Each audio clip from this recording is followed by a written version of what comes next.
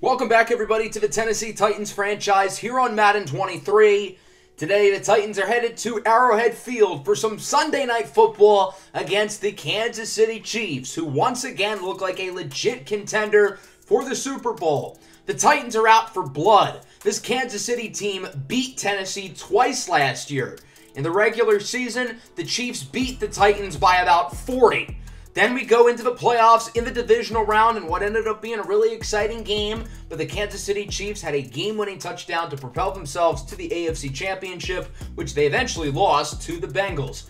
Our Titans might be the hottest team in the league. We've won six games in a row, coming off a big win in the last episode against the Raiders with fellow rookie quarterback Justin Tucker, who played well, but not as well as our guy, Romeo Coloci. Both Coloci and Tucker have had fantastic rookie seasons. They're neck and neck basically for the rookie of the year. Coloci did pass him after the win, however, putting him in first place. We also have a prospect profile today. We're going to go over the offensive and defensive linemen in this year's draft class, and we'll start with that before we get to the Chiefs game. I think our offensive line has been quite good this year when healthy. That's kind of been the problem. It seems like there's always one guy who's injured, as shown by the fact that we've only had two guys play the entire year on the offensive line, and one of them, James Daniels, got injured last week and will miss multiple games. When healthy, everybody other than Nick Petit-Frere has been really good. I think Evan Smith is the big one. He's only allowed one sack. The run game has been good as well. As for the defensive line, keep in mind we run a 3-4, so sometimes our outside linebackers will line up as defensive ends based on the package that we're running. I think the defensive line's been pretty good. We're surprisingly tied for fourth in sacks, which feels crazy because I feel like the defensive line's been pretty pedestrian this season, but the fact that we're in the top five in sacks is pretty impressive. Overall, we've got a lot of guys who can make plays. Our front unit, albeit inconsistent, has been better than it was last year. So we'll start with the offensive linemen in this class and specifically the offensive tackles, and I think it's a really good group. I would not be surprised to see the Titans invest in an offensive tackle early in this draft. Even though Evan Smith is really turning into a good player, you need somebody else alongside him. At left tackle, we've got Dejarius Roberson out of Georgia, who, if the season ended today, would be the number one pick in this year's draft. That's how good he is. Six foot six with a 6'11 wingspan, 370 pounds. He checks off all the boxes at the offensive tackle position. He's big, he's strong, he's pretty good in the run game, but what teams are really going to like about him is his ability in pass protection. He's a four year starter with the Bulldogs and has improved in pass pro pretty much every single season of his career. He was a top recruit in his class, and he has absolutely panned out into a star on the Georgia offensive line. And I think there is a legitimate shot, depending on who has the number one pick, that he is the top choice in this year's draft. He is legitimately that good. While Roberson's been a top prospect for a few years, Ohio State left tackle Ronchavius Anderson has gone past a very different path. Anderson originally attended Ohio State as a preferred walk on. He eventually became the starter last year as a junior, and since then, he's been the best offensive lineman in college football. He's been really solid in the run game, and as a pass protector, he has been elite. He has allowed just one sack since becoming the starter last year, making Puma Whitlock's life very easy under center. Anderson may not be the athlete that Roberson is, but his production, his character, and his work ethic are off the charts. His stock has skyrocketed this year, and right now he looks like he could be a top 15 pick. There are other good left tackles in this class, headlined by Dakari Bonds out of Miami, and plenty of other intriguing players down the board. I think this class is stronger at right tackle, though, which is pretty rare, but that is the case this year. You've got three surefire first rounders and two other guys who could end up in round one. The main attraction here, pun intended, is Julian Maine out of Illinois, who's been a top prospect over the last two seasons, and he has lived up to the hype, and he has really taken some leaps and bounds this year as a senior to likely cement him as a top 10 pick come this upcoming April. I don't think he's the prospect that Dejarius Roberson is, but he's not far behind. Really impressive athlete, probably even better than Roberson. He's a good run blocker. He's a little bit inconsistent in pass pro, but he's really improving there. He's got good size, six foot five, 313 pounds, pretty long arms. I think he's going to be a good top 10 pick when it's all said and done, probably closer to the back end of the top 10. But if he ends up being a starter for a decade, you are not complaining. And I think there's a good chance that ends up being his career path. Then you've got this next tier of guys with Oswald Wigger, Jake Trotter, and then the fringe first rounders, you've got Jalen Prater and Stone Utai. of this group, I think Jake Trotter from USC intrigues me the most, and that's because of his impressive physical profile. Six foot eight, 315 pounds. He's got height, he's got length, and he's got power. The thing with Jake Trotter is while he's a good pass protector, he's a great run blocker. This is somebody who embodies being an offensive lineman. He is somebody who's going to get on your face and enjoys flattening people onto the ground. He's the type of player who's really got that dog in him, and that's what you look for on the offensive line. Players who embrace that role, players who embrace being the bullies up front, and that is exactly what Trotter has. He's got an a hole mentality going after defensive linemen. That's what you look for on the offensive line. There's some good depth here as well, in my opinion. Very strong group at right tackle. As we look at guard, it's a pretty talented group, particularly at right guard, with multiple potential first rounders in this group. We will start at the left guard spot. I don't think anybody's going to be drafted super highly there, but there are three talented players with Vasily Gurzois, Carson Triezin, and Luke Mergman. I think Triezin from the University of Georgia is the most talented of the group. He's one of the most purely gifted offensive linemen in this draft class. As a pass protector, he is phenomenal. Four-year starter with the Bulldogs, and he's only allowed three sacks in his career. The problem is he lacks that dog in him. As we talked about with Jake Trotter, the tackle out of USC, he has that a-hole mentality of wanting to be a bully up front. I don't see enough of that with Carson Triezin, which is why he's only being projected as a day two pick. I need to see more toughness and physicality in the run game, especially at the guard position. However, with pure talent, he is really, really impressive. And if he goes to a system where he can tap in, he can end up being really good. At right guard, we're looking at multiple potential first rounders. We've had some really good guard prospects in this series with guys like Magnus Zimmerman on the Bears now, Ryder Pratt, who was drafted by the Eagles last year. I think Xavier Riedel from Georgia is the next in line. Riedel's a really, really good guard prospect, and yes, it's easy to say that you know, he plays for Georgia, who has four projected top 100 picks on the offensive line. But I think Riedel is really, really good in his own right. This is an impressive athlete, very good in pass protection, very solid in run as well. And with his solid frame, six foot two, 320 pounds, good arm length, I think you could try to switch him out to tackle to start. But if that doesn't work out, you're going to get a 10 plus year starter at guard. And again, in the late first round, probably right around Tennessee's range. If that's what you're getting, you are not going to complain. There are some other guards who could go in the first round right behind him. This includes Woody Bunham out of Michigan. He's been a four year starter. He was an All American as a freshman, and he has continued to be really good since then with the Wolverines. He's one of the big reasons why Michigan currently has the number one scoring offense in all of college football up to this point. He might be the most athletic offensive lineman in the draft. These guys do not move the way Woody Bunham does. He's a really good pass protector, decent in the run game. I wish he improved a little bit there, but with his agility and his quickness off the line, I think that's going to really up his ceiling at the next level. And I think you could be looking at somebody who could end up being a really, really good pro if he can tap in to his athletic potential, which I think there's a good chance he will. I do think he ends up in the first round. Again, another guy who could be right in Tennessee's range. Then you've got Abraham Kennedy out of Ohio State. This is a big, big kid. Six foot eight, 380 pounds. He is large, and he short plays like it. He is bigger than everybody on the opposing defensive line. And when you get to the NFL, it's easier to say that, yeah, these guys are bigger and more athletic than the college players but they're not six foot nine, 380 pounds. Abraham Kennedy is still going to have the size edge on these NFL defensive linemen. So he's going to be able to win the same way that he does against these college defensive linemen. And I think that'll make the transition process pretty easy for him as he moves to the next level. Again, a guy who could definitely be in the Titans' range. And even behind them, guys like Tavares Booker and J.R. Jumaji, really, really good players in the second or third round at right guard.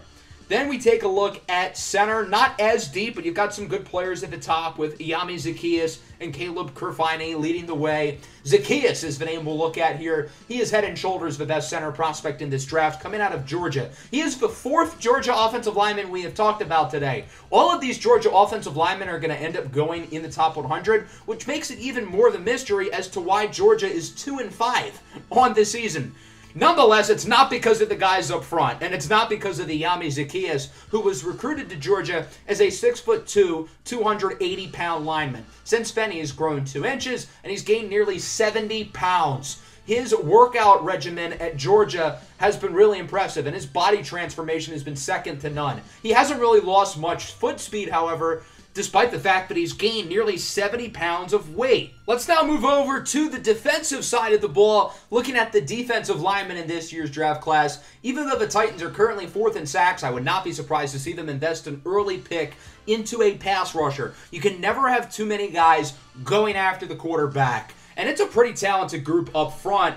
We'll start with the top projected defensive lineman in this draft class, and that's Alabama's Okwuru Chibuke, who is currently the number two projected pick in the entire draft after Dejarius Roberson. Right now, he's the best defensive prospect in the draft, in my opinion. He's coming off a game against Arizona where he had 10 tackles for loss. Yes, you heard me right, 10, along with three sacks. This is somebody who can take over the game. He's a well-rounded athlete, 6'3", 263. He's got good speed, good quickness. He checks all the boxes there. And he's not a one-dimensional pass rusher. He wins with power. He wins with finesse. He's really good in the run game. I think this is somebody who just checks off all the boxes. Maybe he's not necessarily a freak athlete. Maybe he's not somebody who has elite bend and has all the pass rush moves, but he's got everything you look for with a defensive lineman. And I think because of that, he is going to be very good as a rookie. And I think this is going to be a player who plays at a Pro Bowl level, again, for upwards of a decade. And I think that is absolutely worth a selection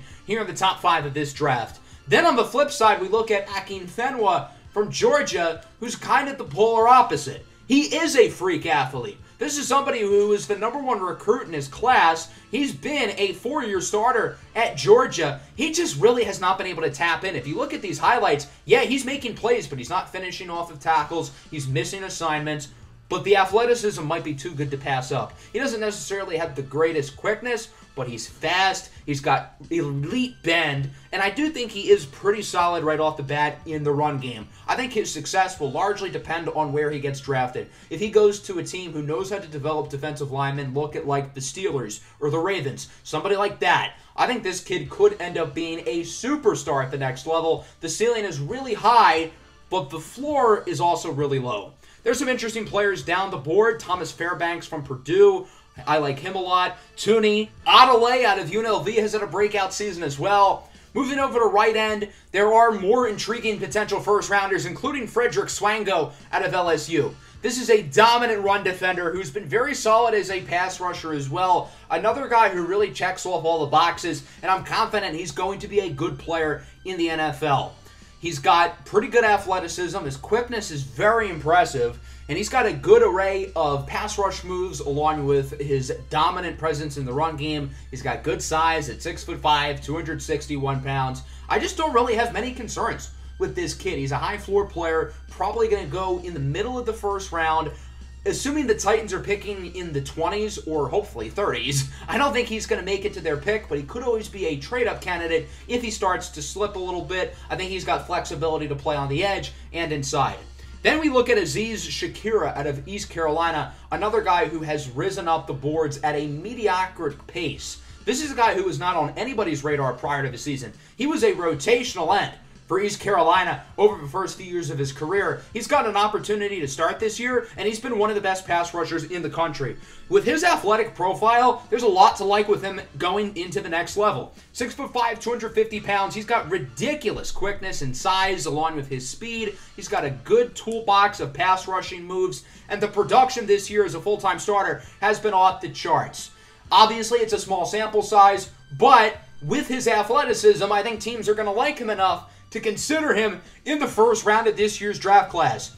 In, say, the Titans 3 4 scheme, he'd be more of an outside linebacker, but I think he's got the scheme versatility to play with his hand in the dirt or as a linebacker, depending on where he goes. Cedric Cabral, Glenn Carbine, and Case and Darwin are all pretty solid players shortly after them. But as we go down the board, there are some names who really intrigue me. Curvins Armstrong, Bear Baseman, but I really like JoJo Adeomowa out of TCU. This is a guy who we've talked about throughout his college career in the NCAA Next Up series. In JoJo's sophomore season, TCU won the national championship, and that was because of their defense. If you remember, TCU had 10 starters on that defense who were seniors. The only non senior was JoJo Adeomowa, who was one of the best players on that unit. Over the last two seasons, he hasn't been as good, but he's still been solid. I want to see more consistency from him as a pass rusher and as a run stopper, but as we saw with the flashes that he showed as a sophomore and has shown over the last two years, he could be a good player. He's got good size, six foot four, 260 pounds. He's pretty athletic, and I feel like he should go higher than he's currently being projected, which is likely as a fifth or sixth round pick. I think he will get drafted, but it seems like it'll be in the middle of day three, which feels way too late for him. I think he could be a total steal for whoever ends up picking him. Let's move over to defensive tackle now. We've got a couple potential first rounders with Johnny Machado and Reese Pritchett, but I want to look at Lorenzo Nugaolis because I think he's the best fit for Tennessee's defense. He is as slow as a rock.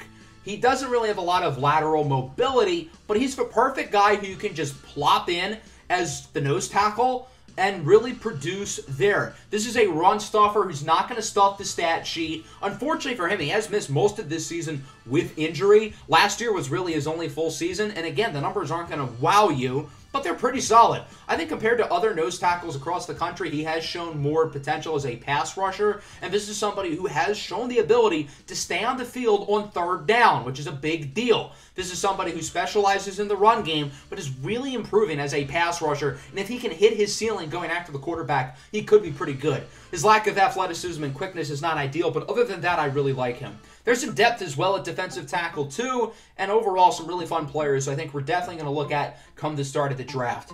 Let's now move our attention here to this pivotal Week 13 matchup on Sunday Night Football at Arrowhead against the Kansas City Chiefs. Currently, our Titans are the number one seed in the AFC, but let's not get carried away. It's not by a lot. Even though we have tied for the best record in the league and the highest winning streak, we're only ahead of the Jaguars in our division by half a game. And if you look at the AFC, it is super competitive. The eighth seed, which is currently the Chargers, are only a game behind us at 7 and 4. So we do not have a lot of margin for error within this playoff race. Just because we're the one seed does not mean we have an easy road to getting into the playoffs, especially because we have a really hard schedule to end the year. We know this Chiefs team is really good. They're coming off an interdivision loss last week, so I think they're going to be extra hungry. They're coming back home. It's primetime football. They're playing against a team they know is a playoff caliber team, and we know on paper this team is loaded. Everything starts and ends with quarterback Patrick Mahomes. In case you've been living under a rock for the last decade, this guy is pretty damn good. He is the best quarterback in football right now. He's having another MVP caliber season, leading the Chiefs to currently first place in the AFC West. As of now, he is currently in third for MVP behind Clyde Williamson and Lamar Jackson. But if he has a really good final third of the year, he could absolutely win it.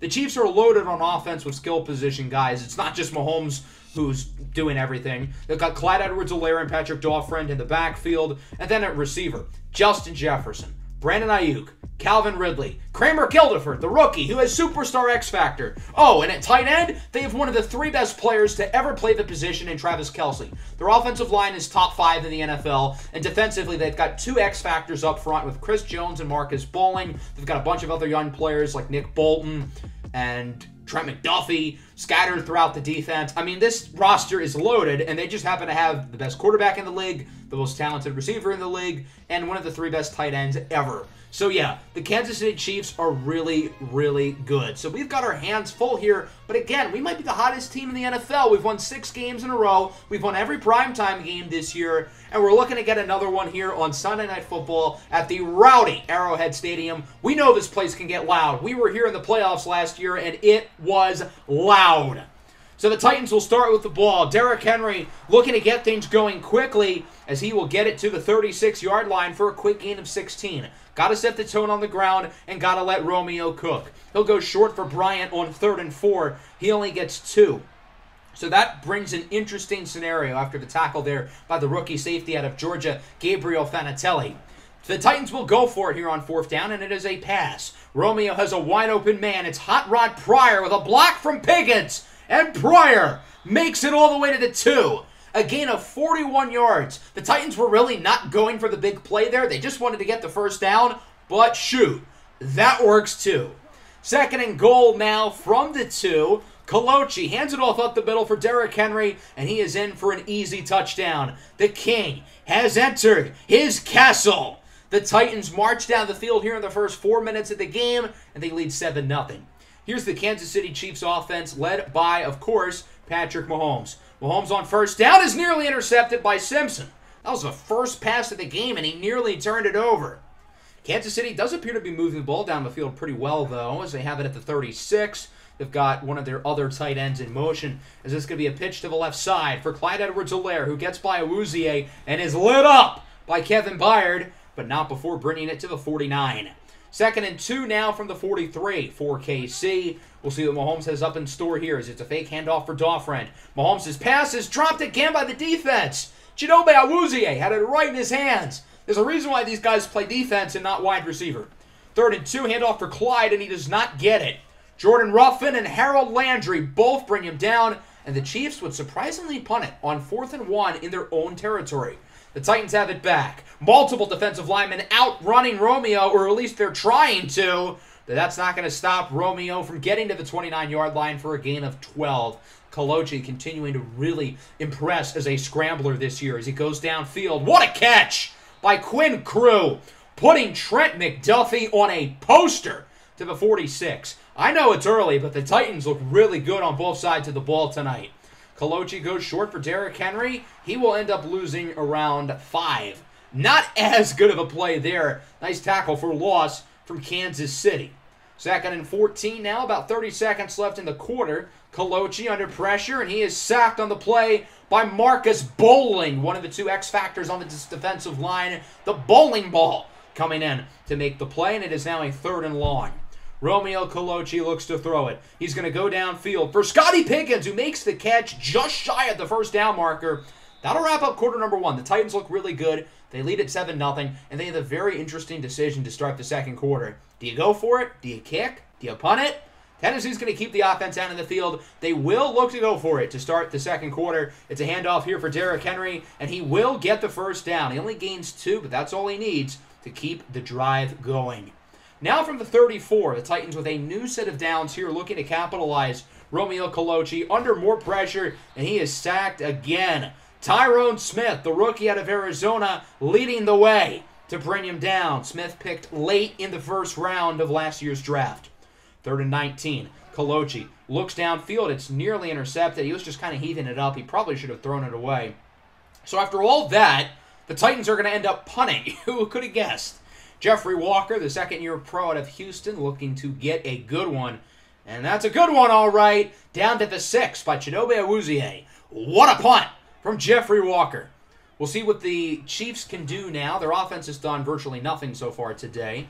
Mahomes looks to throw it, going downfield, and he connects with Brandon Aiyuk to the 44, pushed out of bounds by the former Kansas City Chief Juan Thornhill. If you remember in the playoff game, Thornhill got stiff armed to the ground by the running back Patrick Daufriend for the game winning touchdown with seconds left on the clock. Justin Jefferson makes a nice play out to the 40.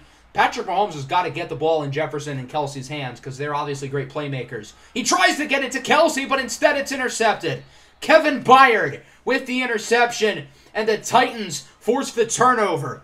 Travis Kelce was open too. I don't know if he just missed the throw or if it slipped through his Kelce's hands, but it goes right over to Kevin Byard, who picks off his second pass of the year. That wasn't a perfect throw, but Kelce absolutely could have caught that. So the Titans force the turnover. They'll get it back. Romeo takes a shot downfield, and it is caught by Scotty Pickens, who gets it to the 27.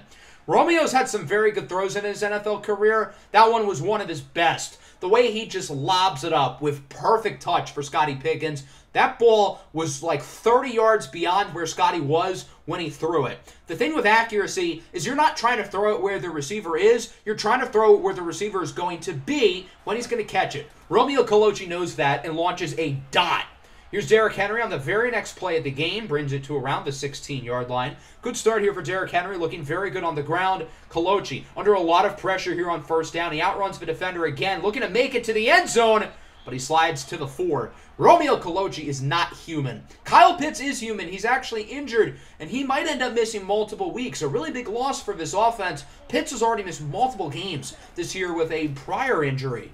First and goal from the four. Play action. Kalochi connects with Chig Okonkwo for the score, and the Tennessee Titans will make it a two-score lead. It's now 14 0 about halfway through the second quarter.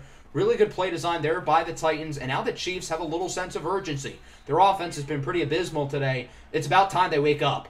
Nice first down there by Aiyuk. Third and four. Patrick Mahomes looks to throw it. He's under pressure from Pierce. He's going to take a shot downfield, and it is broken up in the secondary by Awuzie and Thornhill.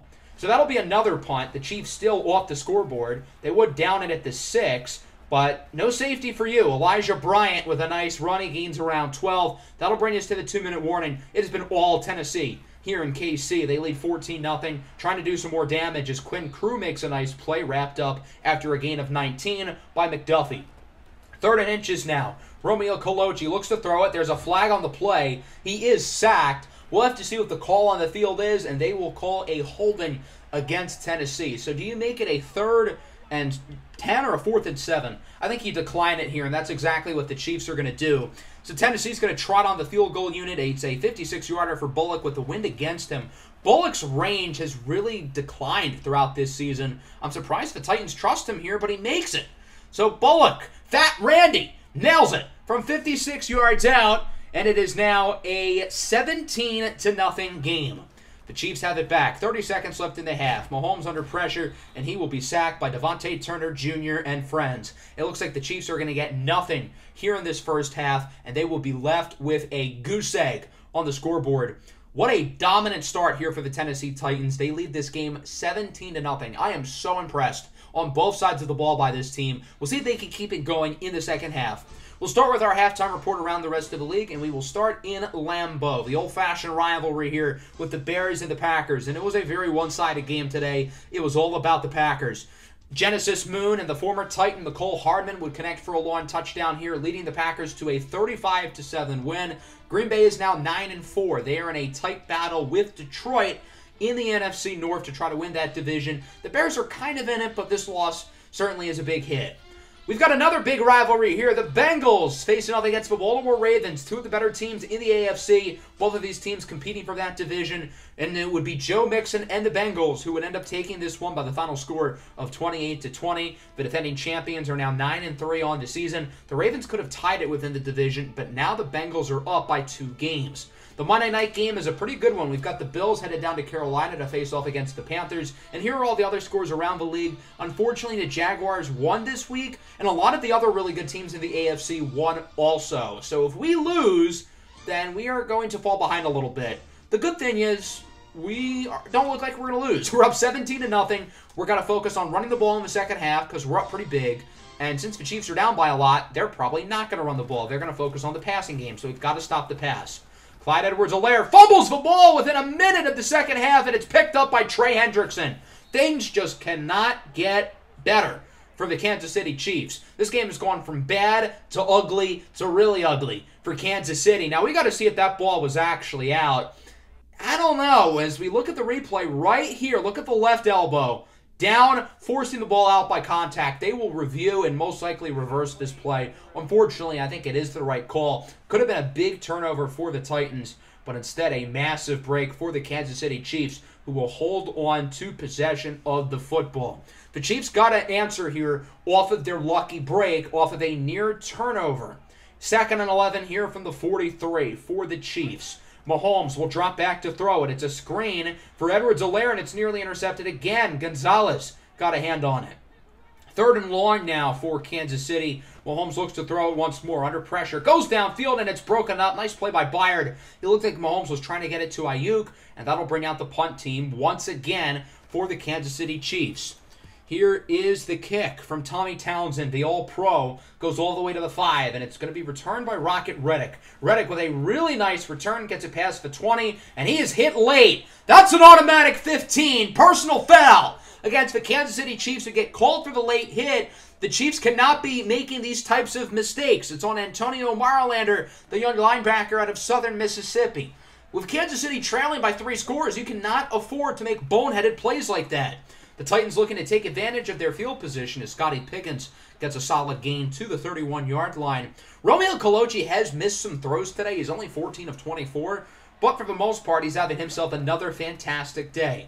Colucci keeps on the option and is smothered in the backfield, losing around three. He'll be wrapped up on the play by one of the defensive linemen, and it is now a third and six. Colochi looks to throw it. He's going to go short for Elijah Bryant, who hauls it in to the three. The Titans with another opportunity here to get the touchdown. I was on first and goal. It's going to be a short pass. And Muhammad McBride, the tight end of Oklahoma, is in for the score. McBride was acquired at the trade deadline from Detroit, and he's going to be asked to step up with Kyle Pitts' injury. So the Titans extend their lead. They are now up 24 to nothing. This is an all-out blowout, total dominance, just like last year when these two teams played in the regular season. But it's the other team who's doing the dominating. Kansas City has it back, second and two. Mahomes goes somewhat downfield, and it is caught by the gambling man, Calvin Ridley, who gets it past the 50. Following play here for the Chiefs. They finally got it past midfield for the first time in the second half, and immediately Mahomes gets sacked. RJ Robinson and Asher Gonzalez bring him down, the talented two linebackers who both have really broken out this season for the Titans. Third and 11. Mahomes' pass is dropped again by the defense. It's Cardell Simpson, and that'll wrap up the third. Mahomes has had so many dropped interceptions today. He's lucky he's only turned it over once. Tennessee leads big, 24 to nothing, trying to finish this one off here in the fourth quarter. Third and five, Derrick Henry hauls it into the 47 yard line. Good throw by Romeo Colochi, who I don't think has thrown an incompletion here in the second half. Derrick Henry does not get the first down on third and short, so the Titans are going to go for it. Hand off for Elijah Bryant to the right side, and Bryant will get the first as he ends up gaining around eight. Elijah Bryant quietly has had himself one of his more productive days of the year as he gets it back on third and four. Bryant, with room, gets it to the 18. Good run there for the former Florida Gator.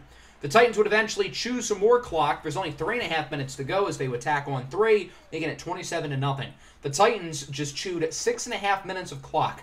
That's how you do it. So Kansas City has it back now. They're in real danger of getting shut out. Is on second down. Mahomes goes up the middle for Brandon Aiyuk. He will get it to around the 40. Second and 10 now. Mahomes looks to throw it, looking for the sideline, and it's picked off by Farley, but he was out of bounds. Another near turnover for the Titans. It feels like they had like five opportunities to turn the ball over today. On third down, Travis Kelce left wide open, and he will bring it all the way to the 30 before being tackled by Byard. Third and three, Mahomes has another dropped interception. Good lord! If the Titans were not up by so much, this would be a pretty big issue. Fourth and three, obviously, the Chiefs have to go for it with sub two minutes. Mahomes looks downfield, and it is caught by Brandon Aiyuk for the touchdown. I was really hoping Tennessee would be able to get the shutout, but unfortunately, it's not meant to be. The Titans would end up recovering the following onside kick. It's Treylon Burks who recovers it, and that should be able to give an easy passageway to end the game here for the Titans. 27 to 7. What a dominant win here for Tennessee on both sides of the ball. In order to make a statement in this league, you got to beat good teams, and the loudest statements are made when you beat good teams on the road.